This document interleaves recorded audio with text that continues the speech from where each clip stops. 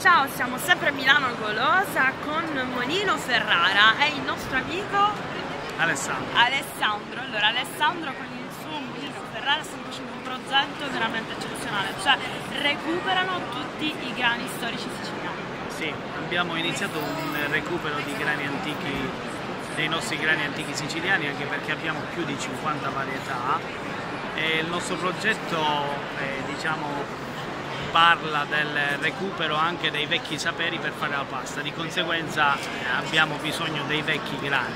Stiamo facendo un prodotto di eccellenza eh, con eh, la lenta essiccazione, con eh, le basse temperature, ma soprattutto un prodotto artigianale, quindi un prodotto locale e una valorizzazione del nostro territorio. Cioè loro hanno un campo sperimentale dove seminano sì. no? i grani appunto ormai quasi in via di estinzione possiamo dire, sì, sì, li rimettono insomma, in produzione e fanno tutta la filiera, vedete pasta, cose di sì, li riproduciamo. E eh, ci tengo a dirlo, non lo dice lui, lo dico io, la prima domanda gli ho chiesto, c'è tutto un progetto loro, che nasce dalla loro sensibilità, perché né le università né eh, la regione, né, cioè capisce che questo è un progetto che fa rinascere non solo l'economia ma la nostra terra. Quindi io non, non potevo non, non, fare questo commento, scusatemi, ma sono sempre io. E quindi veramente doppio applauso, è un progetto veramente unico, siamo qui a Milano, Milano mangia Sicilia, l'Italia ha capito che la Sicilia può darne a mangiare, altro che mangiare gli insettucci che si vedevano all'Expo. Sì. E vi faccio vedere velocemente il loro stand,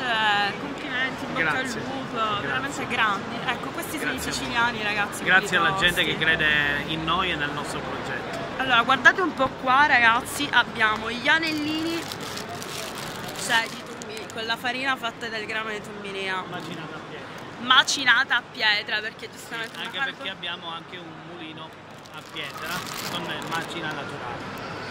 Cioè, tra l'altro tutto ciò, ad esempio, per chi è intollerante al grano, che si va a comprare quei prodotti del cavolo in, al supermercato che vengono dalla Germania, dal sapore discutibile, il grano di Tummini è un grano siciliano altamente digeribile e ti puoi fare pure la pasta a forno a Milano, che se sei intollerante al grano, per dire, parliamone.